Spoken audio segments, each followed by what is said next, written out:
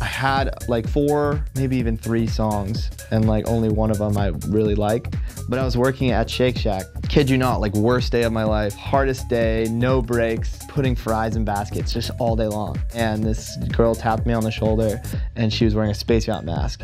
She was like, "You can go on your break," and I was like, "Yes." And I was like, "That's a sign." I, I tweeted, "I'm like, I'm gonna send Space Yacht music tonight." I sent them uh, this track "Earring" in, and they loved it, and they reached out. And they were like, "Do you have more?" And I was like, "Yes," and I didn't. So I stayed up all night, and then I sent those in, and then that was uh, was when they heard Tiffany, and then they they booked me for Tech My House during the Twitch stream, and I was like, "Oh, this is what it's all about right here."